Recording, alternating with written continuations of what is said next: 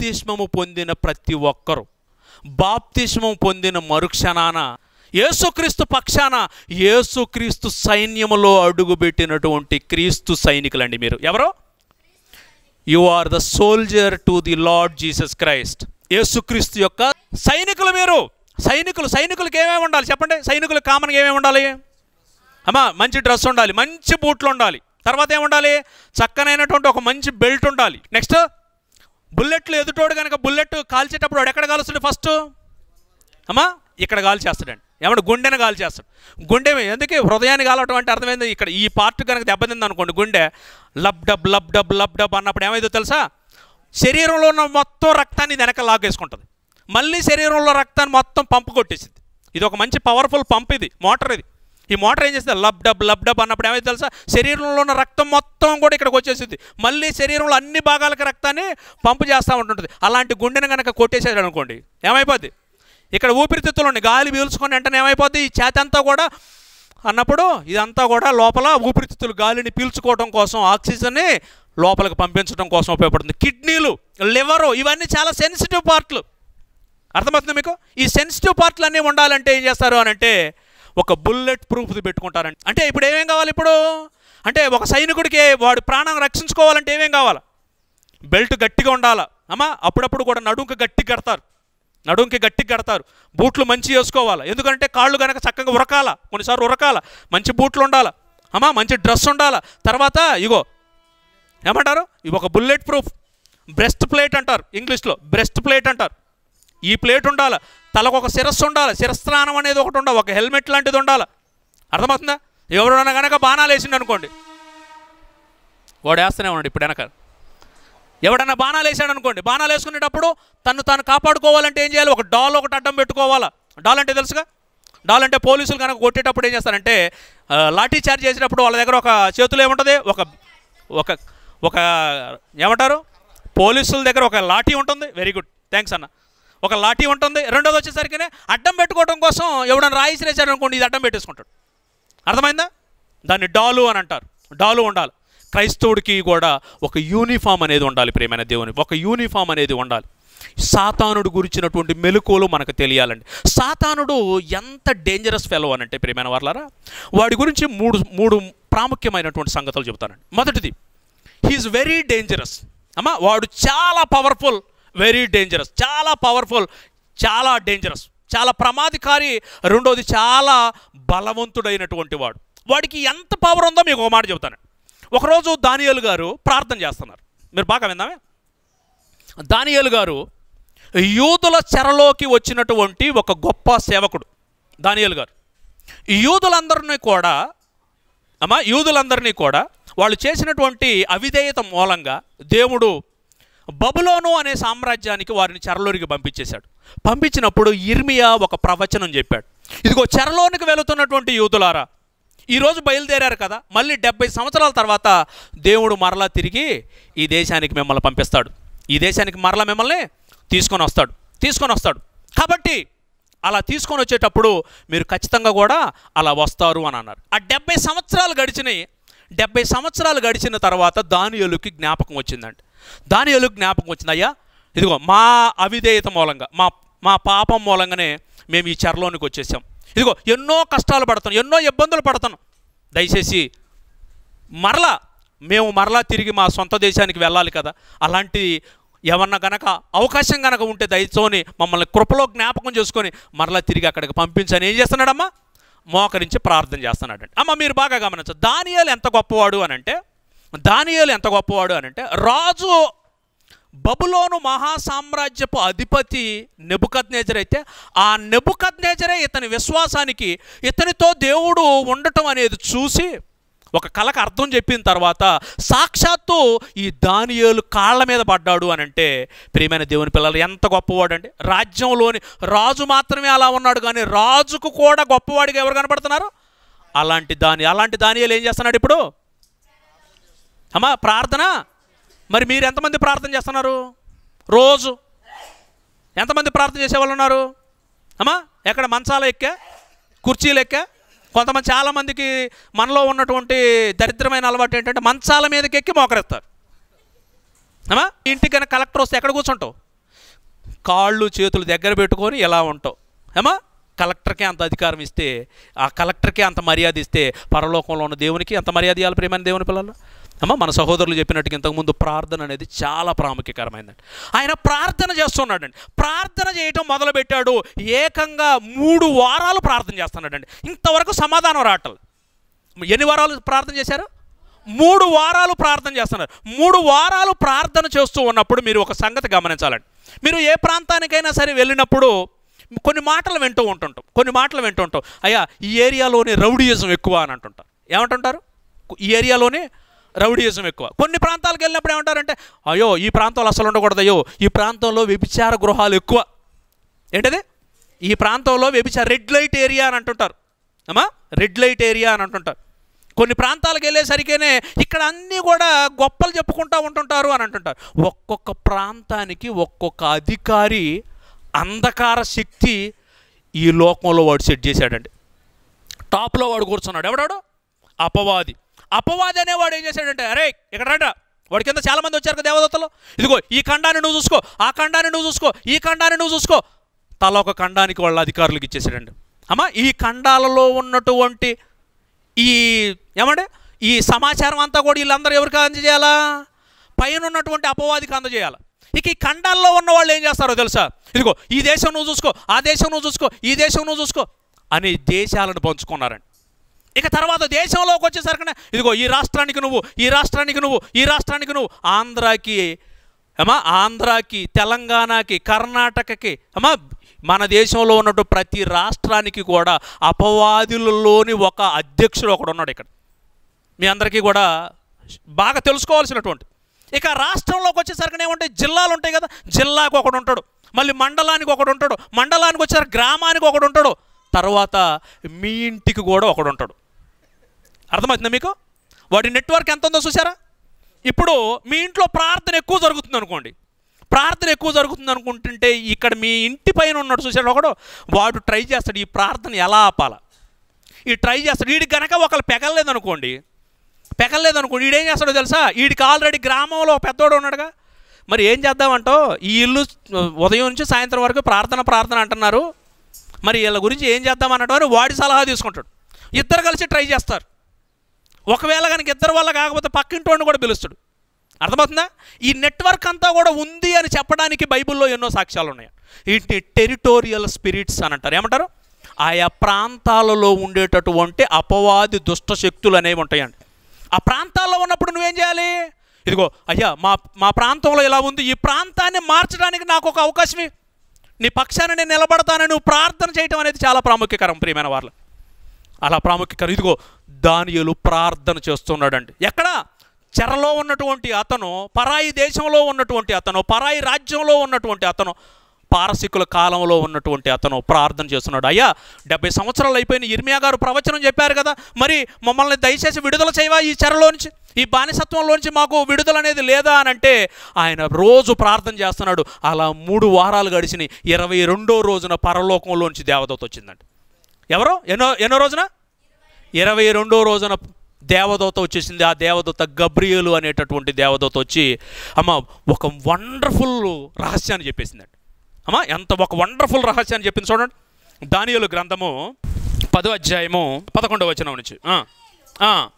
దానియేలు నీవు బహుప్రియుడవు కనుక నేను నీ వద్దకు పంపబడి తిని నీవు లేచి నిలవబడి నేను నీతో చెప్పు మాటలు తెలుసుకొనవనను.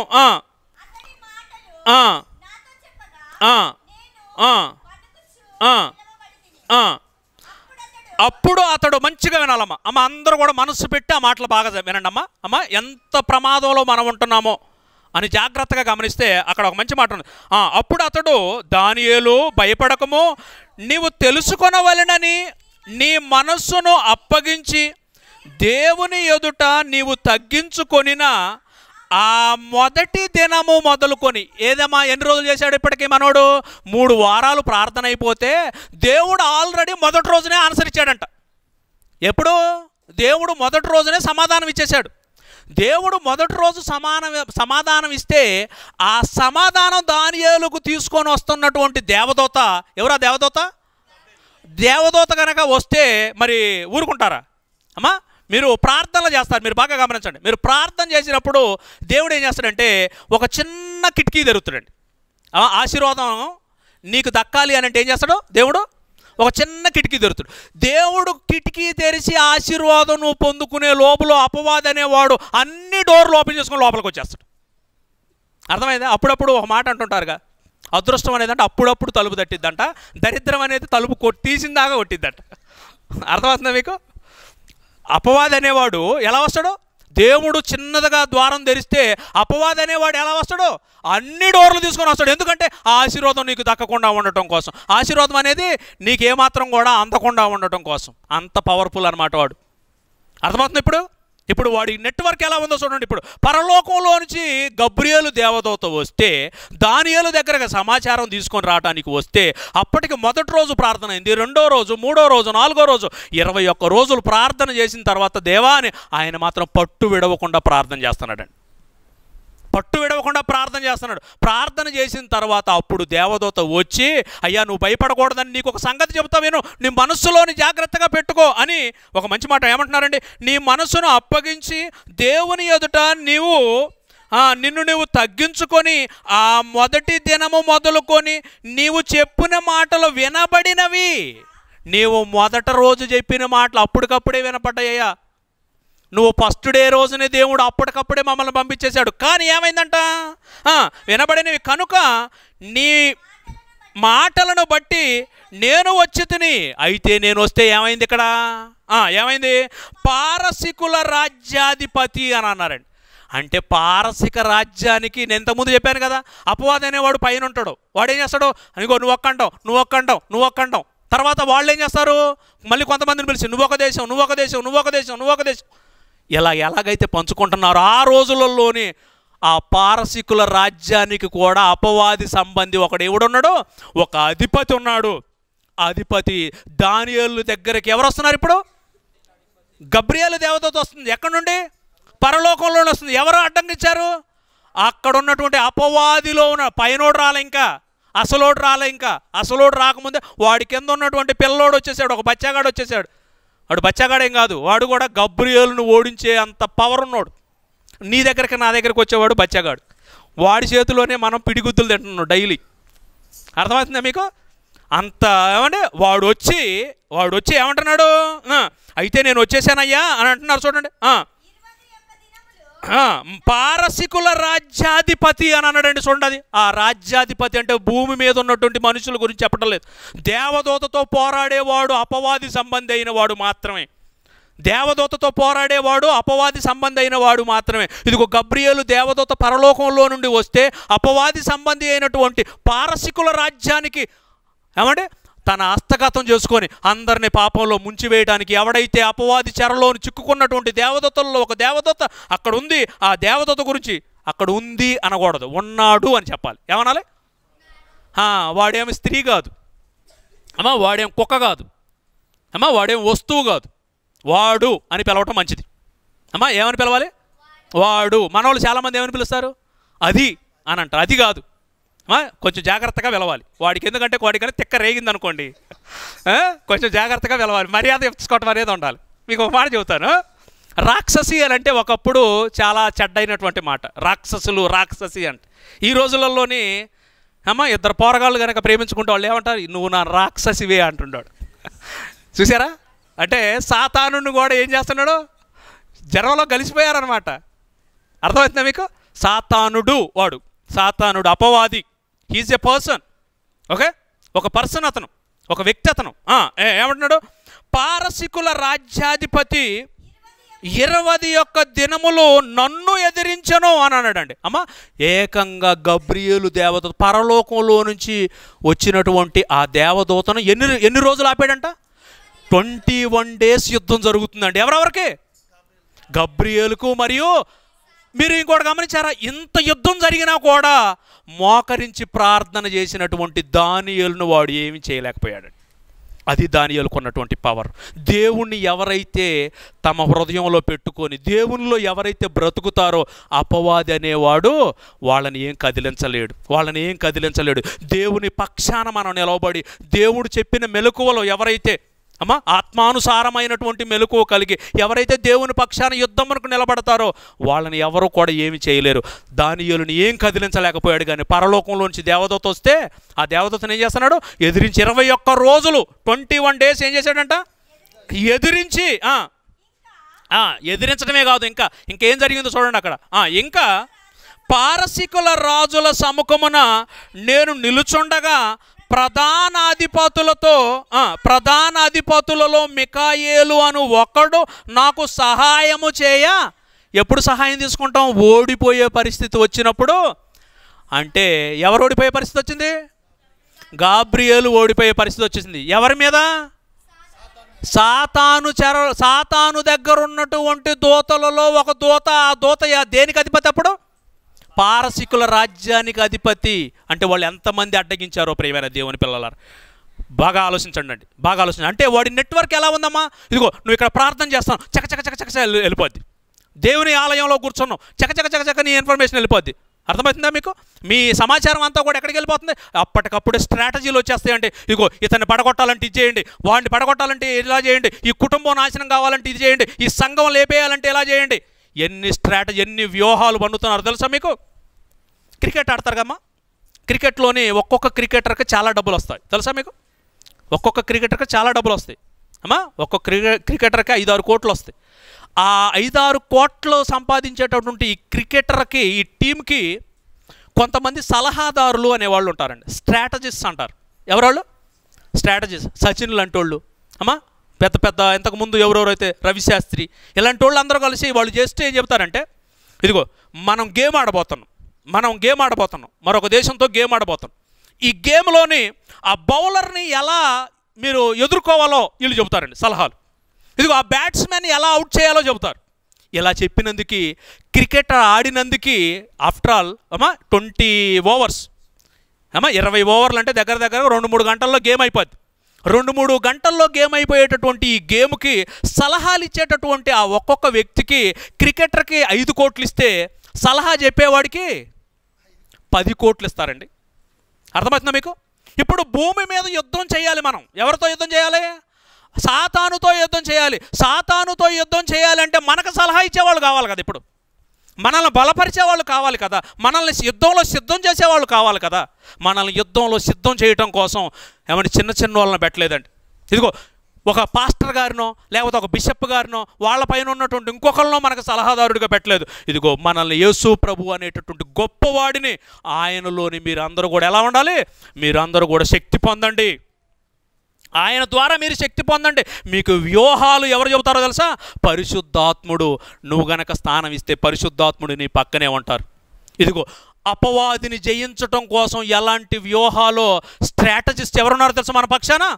పరలోకంలో వచ్చినటువంటి యేసు ప్రభు మనల్ని బలపరిచేవాడైతే ఏకంగా పరిశుద్ధాత్ముడే మనల్ని ఆ యుద్ధంలో ఎలా గెలవాలో చెప్పేటటువంటి వ్యూహకర్త అండి. ప్రియమైన దేవుని పిల్లలు కొన్ని మాటలు చెప్పి ముగించేస్తానండి.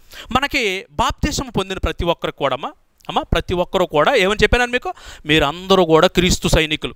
మీరందరూ గుర్తుంచుకోండి ఎవరు మీరు? ఎందుకు సైన్యంలోకి వచ్చారు? మంచిగా ఇంటికి వెళ్ళి బిర్యానీ తిని ముసుకేసుకొని పండుకోవటానికి కాదు. బాగా వినాలే? సైనికుడు అనేవాడు పోరాడాలి. సైనికుడు అనేవాడు పోరాడితే ప్రజలకు యుద్ధం అనే యుద్ధంలో గెలుపు అనేది వస్తుంది. సైనికుడు అనేవాడు ముందు నిలబడితే ఎవరైతే పంపించారో ఆ మహానుభావుడికి గొప్ప కీర్తి అనేది కలుగుతుంది. సైనికుడు కనుక ఫ్రంట్ లైన్లో నుంచుంటాడు సైనికుడు అనేవాడు ఎక్కడుంటాడో? ఫ్రంట్ లైన్లో యుద్ధంలో ఎక్కడుంటాడో? ఎక్కడుండాలో పంపించే ఆయనకి తెలుసండి ఒక సైన్యంలో కనుక ఒక ఇరవై మంది సైనికులు ఉన్నారనుకోండి ఒక చోట ఇరవై మంది సైనికులు ఉంటే వాళ్ళ పైన ఉన్న అధికారికి తెలిసింది ఇతనైతే ఇక్కడుంటేనే మనల్ని గెలిపేయగలుగుతాడు అతనైతే అక్కడుంటే మనల్ని గెలిపేయగలుగుతాడు. నిన్ను బహుశా నిన్ను ఈ ప్రాంతంలో ఈ సంఘంలో నిన్ను దేవుడు తన సైనికుడిగా నిలబెట్టాడేమో. ఎప్పుడన్నా ఆలోచించారా? సైనికుడిగా నిన్ను నమ్మి నిన్ను నిలబెట్టాడేమో. నిన్ను నిలబెట్టాడేమో ప్రియమైన దేవుని పిల్ల. ఈ సైన్యంలోకి వచ్చినటువంటి ప్రతి ఒక్కరూ గమనించాల్సింది ఒక పోరాటం అనేది చేయాలండి. యుద్ధం అనేది జరిగినప్పుడు కామన్గా ఏం చేస్తామమ్మా మనం?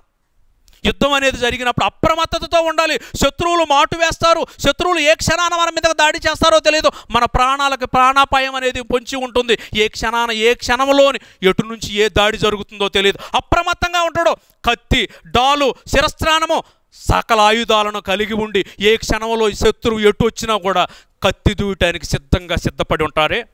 ఏది మనలో ఉందా సిద్ధపాటు? అపవాది అనేవాడు అపవాది ఒక్కడ కాదు ఏకంగా. వాడికి ఒక పెద్ద నెట్వర్క్ ఉంది. వాడి సై వాడి సమూహం అంధకార శక్తులు ఈ లోకంలో ఉన్నటువంటి దేవుని కోసం బ్రతకడానికి వచ్చినటువంటి మనల్ని ఎలాగైనా పడవేయాలి. ఎలాగైనా లోకంలో కలిపేయాలి అని వాడు అలా తిరుగుతూ వెతుకుచూ తిరుగుచు గర్జించు సింహం వలె ఎవరిని మృంగుదునా అని తిరుగుచూ ఉన్నప్పుడు ప్రియమైన వాళ్ళ మనం ఆత్మీయ మెలకు కలిగి ఉండాలి. మనకు పోరాటం అనేది ఉందండి. యేసు ప్రభు ఎక్కడ కూడా ఇదిగో నన్ను నమ్ముకుంటే మీకు సుఖాలు వస్తాయి అని చెప్పలేదు. మీరు బాగా వినాలమ్మా. యేసుప్రభు ఎక్కడ ఎక్కడా కూడా ఎక్కడా కూడా ఇదిగో నన్ను నమ్ముకుంటే మీకు ఆస్తులు వస్తాయి.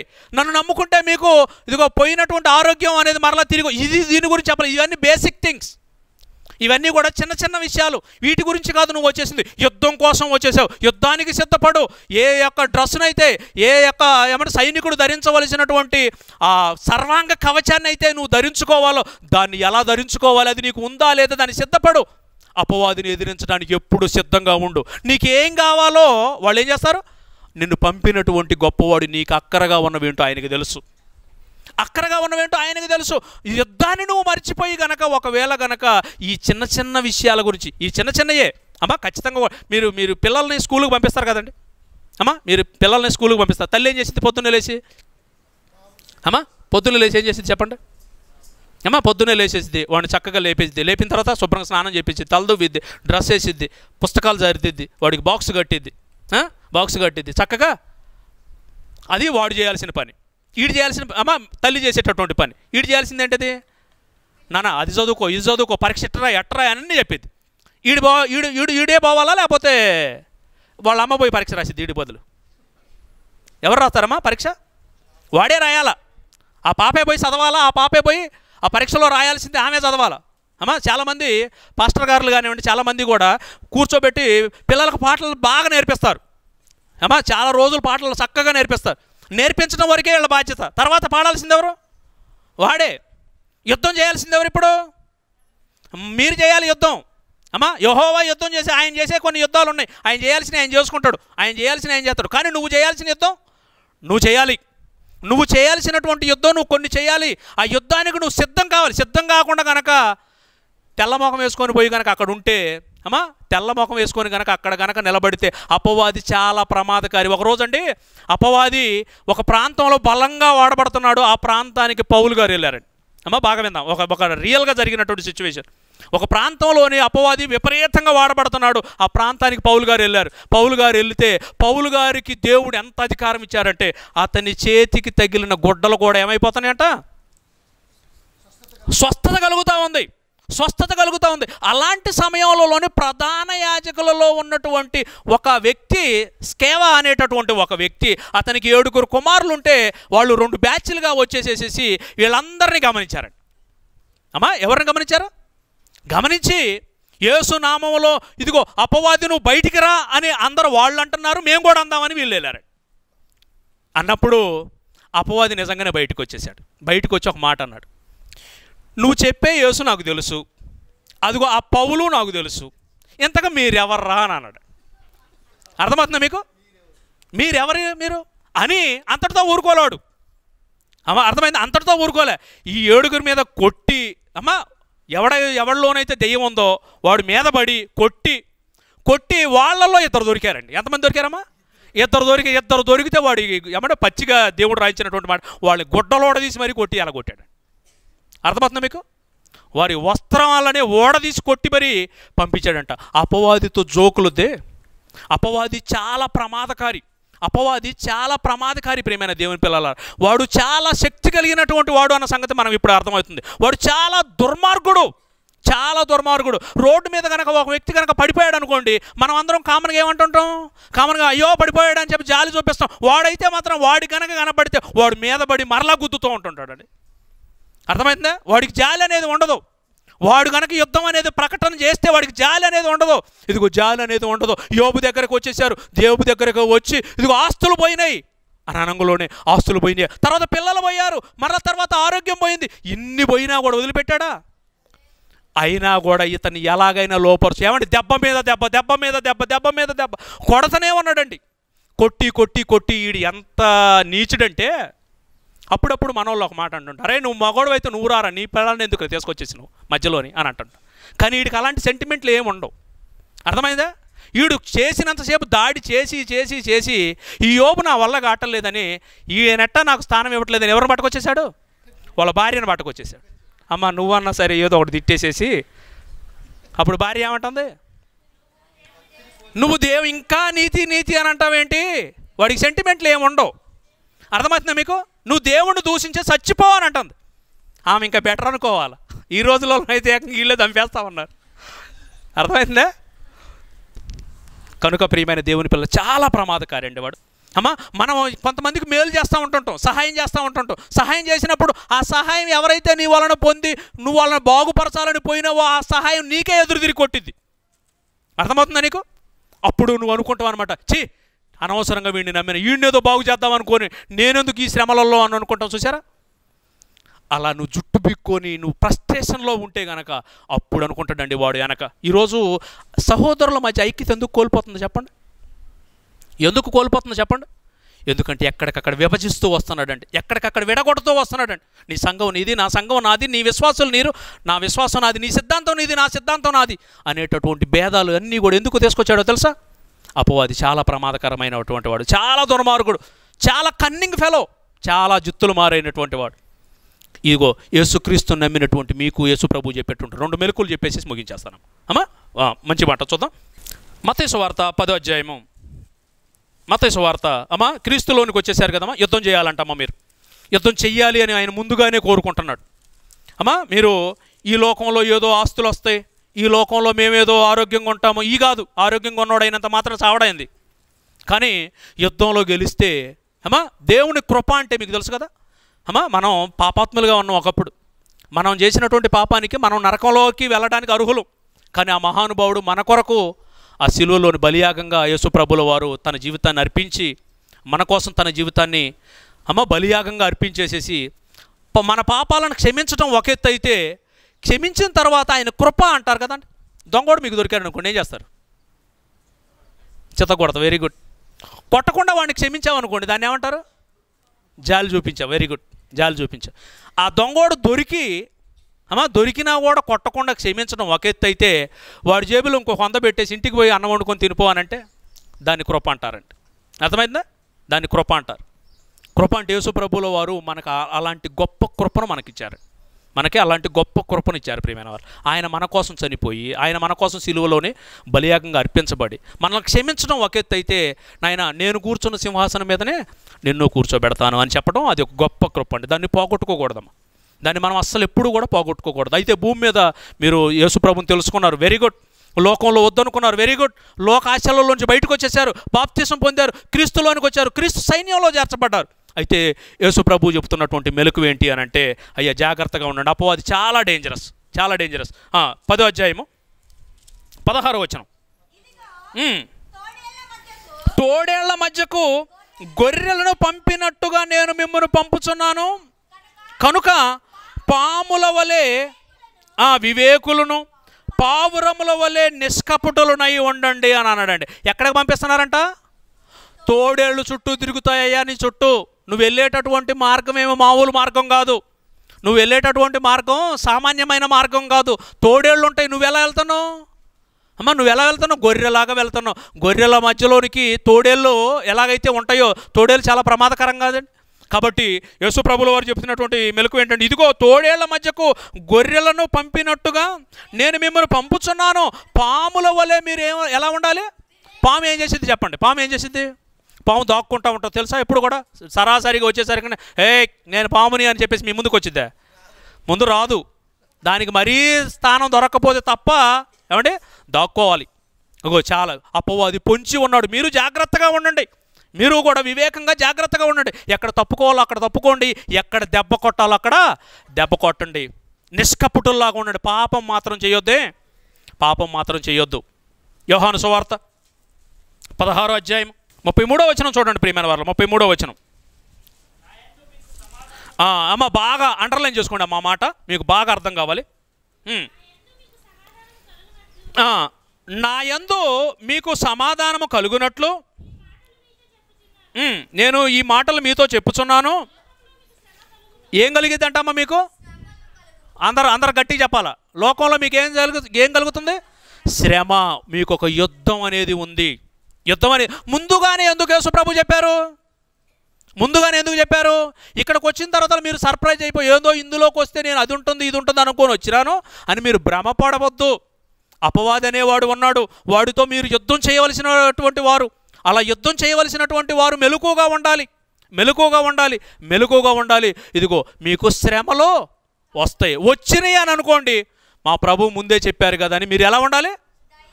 ధైర్యంగా ఉండాలి. వెరీ గుడ్ ఎలా ఉండాలమ్మా? ధైర్యంగా ఉండాలి. అందుకే యేసుప్రభులు వారు అన్నీ ముందే చెప్పేశారండి. అన్నీ ముందే చెప్పారు ప్రియమైన వారు అన్ని కాబట్టి యేసుప్రభుల వారు ఏదైతే మనకు చెప్పారో ఆయన తన జీవితంలో పాటించారు. ఆయన ఏది పాటించారో అది మాత్రమే మనకు చెప్పారు. ఆయన ఎలాగైతే సాతానుడు ఓడించారో అలానే మనల్ని కూడా ఓడించడం ఈజీ అని చెప్పారండి. ఆయన ఏదైతే ధరించుకున్నారో మనల్ని కూడా అది ధరించుకోండి అని అంటున్నారు. అమ్మా మీకు అర్థమవుతుంది కదా? యేసు ప్రభులు వారు అంటున్నారు ఆయన నా దగ్గరకు వచ్చేసారు లోకాన్ని విడిచిపెట్టారు. అయితే ఈ లోకంలోని మీరు బ్రతికే ఈ కొద్ది కాలం మీకంటే నేను ముందుగా బ్రతికినాను కదా. నేను అనుభవించినటువంటి శోధన లేదు నేను పడనటువంటి శ్రమ ఏమీ లేదు. అమ్మ మీరు బాగా గమనించండి ప్రియమైన దేవుని పిల్లల. అమ్మ యేసుప్రభు తల మీద ఏం పెట్టారు? కొరడాలతో చర్మం అంతా కొడితే ఏమైపోద్ది? చీరుకొని వచ్చేసింది చీరుకొని వచ్చిన దాని మీద చెమ్కీలేసే డ్రెస్ వేసారనుకోండి ఎలా ఉంటుంది? మంట లేచిపోద్ది మంట పుట్టిపోద్ది. అర్థమైంది? తల మీద ఏం పెట్టారు? కిరీటం అని అంటే మీరు అనుకున్నటువంటి ఏదో మంచి హారం అనుకుంటారేమో. కిరీటం అంటే ఏంది అది? ముండ్లు. ఎక్కడ పెట్టారు? తల మీద. తల మీద గుచ్చుకుంటే ఏమైపోద్ది? రక్తం అనేది వస్తుంది. రక్తం వస్తే ఏమైపోద్ది? కళ్ళల్లోకి వచ్చి కారుతూ ఉంటుంటుంది. కళ్ళల్లో కనుక రక్తం కనుక కారితే అమ్మా కళ్ళల్లో కనుక రక్తం కారితే ఎలా ఉంటుంది? కళ్ళు తెరగలుగుతావా కళ్ళు తెరుద్దాం అనుకునే లోపల ఒకటి చెంప మీద పెళ్ళను కొడుతున్నాడు. చెంపను పెళ్ళి మీద కొట్టి నేను కొట్టింది ఎవరో చూడు అని అంటాడు. వెనక ఒకటి పిడిగుద్దులు గుద్దుతాడు. కళ్ళ నిండా రక్తం. తల మీద ముండ్ల కిరీటం. ఏంటండి ఈ శ్రమ? ఇంత శ్రమ ఎందుకు పడ్డాడో తెలుసా? అరిచేతుల్లో శిలలు కొట్టేశారు అరికాళ్ళలో శిలలు కొట్టేశారు. ఇంతమంది ఇన్ని కొట్టి ఇన్ని దెబ్బలు కొట్టి ముఖాన ఉమ్మి వేశారు. ఉమ్మి తుడు చేసుకోవాలా? లేకపోతే కళ్ళల్లో ఉన్న రక్తం తుడుచుకోవాలా? చెప్పండి. ఇంత శ్రమ ఎందుకు అనుభవించాడో తెలుసా? ఆయన యుద్ధంలో అలా ఉంటేనే ఆయన యుద్ధంలో గెలవగలుగుతాడు. ఆయన అలా ఉంటేనే యుద్ధంలో గెలవగలుగుతాడు. సాతానును తన కాళ్ళ క్రింద త్రొక్కగలుగుతాడు. సమయం నీది కొద్ది సమయం నీది సాతాను. ఓకే కొద్ది సమయమే నీది. ఈ ఒక్కసారి కనుక కన్ను మూస్తే నువ్వు నా పాదాల క్రిందకు వచ్చేస్తావు. మనం కూడా ఓపిక పట్టాలి ప్రియమైన వాళ్ళ కొద్ది కాలం శ్రమలు వస్తాయి. అమ్మ కొద్ది కాలం శ్రమలు వస్తాయి. మిమ్మల్ని అందరూ ఒక మాట అడుగుతానండి. సాతాను పక్షాన చేరి ఈ లోకంలో కీడు కోసం శ్రమ. వాడైతే మిమ్మల్ని అయితే మాత్రం వదిలిపెట్టాడు. గుర్తుంచుకోండి. మీరు సాతాను పక్షానికి పోయినంత మాత్రాన మీకేమో సుఖాలు వస్తాయి అని అనుకోబాగండి ఫస్ట్ సుఖం వచ్చింది తర్వాత శ్రమ వచ్చేసింది. శ్రమ వచ్చేసింది. ఎవడదో సాతానుతో శ్రమ వచ్చింది. దేవుళ్ళో ఉన్నోడికి. దేవుళ్ళో ఉన్న మొదటి రోజు నుంచి శ్రమలే వస్తాయి. శ్రమలు వస్తాయి రెండు వైపుల శ్రమలు గ్యారంటీ. అపవాది పక్షాన ఉన్న శ్రమలే ఉంటాయి కొద్ది రోజులు హ్యాపీగా ఉంటావు. కొద్ది రోజులు లోకంలో ఎంజాయ్ చేస్తావు. అమ్మా కొద్ది రోజులు హ్యాపీగానే ఉంటావు. తర్వాత శ్రమలు వస్తాయి తర్వాత శ్రమలు వస్తాయి దేవుళ్ళో ఉంటే కొద్ది రోజులు శ్రమలు వస్తాయి కానీ కీడు వైపు ఉండి నువ్వు శ్రమలు అనుభవించి చచ్చిపోవటం బెస్టా? మేలు వైపు ఉండి కీడు ఏమంటే శ్రమలు అనుభవించి చచ్చిపోవటం బెస్టా? ఒకసారి ఆలోచించండి. దేవుని పక్షా నుండి కనుక శ్రమలు అనుభవించి చనిపోతే పరలోకంలో జీవకిరీటం. అపవాది పక్షానుండి కనుక శ్రమలు అనుభవించి చచ్చిపోతే నిత్యాగ్నిగోండం శ్రమల గ్యారంటీగా అలానే అపవాది పక్షాన ఉంటే నీకేం శ్రమలు లేవని లేదుగా? అమ్మా ఈరోజు చాలామంది నా మంచిగా చక్కగా ఒక మంచి బాయ్ ఫ్రెండ్ దొరికారు అనుకోండి వ్యభిచారం చేస్తున్నారు. ఎవరో చూడటం లేదని అనుకుంటున్నారు. అమ్మా భార్య ఉన్నా కూడా వేరే ఒక పొరుగువాని యొక్క భార్య కోసం వీరు వెంపట్లాడుతున్నారు. ఒక అందగత్తి కనుక దొరికిందని కుటుంబాన్ని నాశనం చేసుకుంటున్నాడు. చివరికి తను తాను మోసం చేసుకుంటున్నాడు. దేవుళ్ళలోంచి బయటకు వస్తున్నాడు. సరదాగా గడుపుతున్నాడు. కొద్ది రోజుల తర్వాత ఏమైపోతుంది? ఈడు ఆమెను చంపటమో లేకపోతే ఈడు చావటమో ఈ కుటుంబాన్ని నాశనం చేయటం ఏదో ఒకటి అయిపోతుంది. ఈడు చివరికి జైలు పాలు అయిపోయి శ్రమల పాలైపోయి అయిపోయి ఈడు జీవితం అంతా కూడా ముగిసి ఇలా చేయటం కంటే దేవుని కోసం నాలుగు రోజులు ఓపిక పట్టుకొని దేవుని కోసం శ్రమలు అనుభవించడం మంచిది కదమ్మా. అందుకే అదే యేసు ప్రభుల వారు చెబుతున్నారు. ఏమంటున్నారు? ఆ మాట చదవండి ఎంత మంచిగా ఉందో? లోకంలో మీకు శ్రమ కలుగును. అయినను అయినను అయినను శ్రమ వచ్చినా కూడా డోంట్ వరీ అమ్మ నేను మీ పక్కన ఉన్నాను మీకు ఎంత శ్రమ రావాలో నాకు తెలుసు. అమ్మా ఈ మైక్ ఎవరిది? ఈ మైక్ ఎవరిది? బాలసం అన్నది. హలో అని అంటే ఆయన గారికి ఏమైనా బాధ? చిటికేస్తే ఆయన గారికి ఏమైనా బాధ? ఇట్ట కొడితే ఆయనకి ఏమైనా బాధ? బండ తీసుకొని దీన్ని కొడితే కొట్టనెత్తడా? కొట్టి నన్ను బయటికి వానెత్తడా? అర్థమైందా? దీనికి ఎంత ఆయన ఓనర్కి బాగా తెలుసు అనమాట దీని మీదకి ఎంత అనుమతి ఇవ్వాలో అంతవరకే ఇస్తాడు. అర్థమైందా? ఓవర్ దాటితే నీ మీద కూడా శ్రమ ఏమి నీకేమో ఆకాశం నీకేదో భూమి మీద ఏ మనిషికి లేనంతటువంటి శ్రమ నీకు వచ్చిద్దని అనుకోబాకు ఆయనకి తెలుసు అనమాట అందుకే ఆయన అంటున్నారు నీకు శ్రమ ఏ శ్రమ రావాలో నాకు తెలుసు. అమ్మా దేవుడు సర్వాధికారి అండి. దేవుడు గీత గీస్తే సాతానుడు దాన్ని దాటలేడు. కంచె వేసేసాడు. ఎవరికి? యోబుకి కంచె వేసేసాడు. కంచె వేస్తే అపవాది అనేవాడు టచ్ చేయలేకపోయాడు. ప్రతిసారి ఒక వార్నింగ్ మాత్రం చెప్పాడు. అతని ప్రాణం జోలికి నువ్వు పోయావో బిడ్డ ఊరుకోను అని అన్నాడు. కనుక ప్రియమైన దేవుని పిల్లల శ్రమలు అనేవి వస్తాయి అని యశుప్రభులు వారు అంటున్నారు. లోకంలో మీకు శ్రమ కలుగును అయినను ధైర్యం తెచ్చుకొనుడి. నేను లోకమును జయించాను. ఇదిగో నన్ను నమ్మిన వారిగా మీరు జయించటం కోసమే నా కోసం పుట్టినటువంటి గొప్పవారు మీరు అంటున్నారు. కనుక ప్రియమైన దేవుని పిల్లలరా మనకి యుద్ధం అనేది జరుగుతుంది. కంటికి కనిపించినటువంటి శత్రువు మనతో యుద్ధం చేస్తున్నాడు. ఆ యుద్ధంలో ఇంకా మెలకువలు ఎన్ని ఉన్నాయో దేవుడు మనకి ఎన్ని రాయించారో ఇంకా నేర్చుకుందండి. కళ్ళు మూసుకుంటే ప్రార్థన చేసుకుందండి. ప్రేమ కలిగినటువంటి మా గొప్ప తండ్రి మీ మహాకృపను బట్టి మీరు రాయించినటువంటి ఎన్నో మెలకువలు తండ్రి మీరు మాకు వినిపించారు. భూమి మీద బ్రతికే ఈ అల్పకాలంలో తండ్రి లోకంలోంచి ప్రత్యేకపరచబడి క్రీస్తు సైన్యంలో అడుగుపెట్టినటువంటి మీ బిడ్డలుగా క్రీస్తు సైనికులుగా తండ్రి ఈ లోకంలోకి వచ్చేసాం. తండ్రి అపవాదిని జయించడానికి అవసరమైనటువంటి జ్ఞానాన్ని అవసరమైనటువంటి కవచాన్ని తండ్రి మీరు మాకు ధరింపచేయండి. మేము అపవాదిని ఎలా ఎదిరించాలో ఎలా మమ్మల్ని మేము కాపాడుకోవాలో తండ్రి మీ దివ్యమైనటువంటి మాటలు తండ్రి మాకు నేర్పించండి. మీ బిడ్డలు ఎంతో ఓపికతో ఇంతవరకు కూడా తండ్రి మీ మాటలు విన్నారు. కేవలం విని మర్చిపోయి తమను తాము మోసపుచ్చుకోకుండా తండ్రి.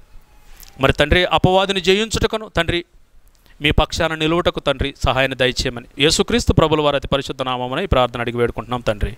ఆమెన్.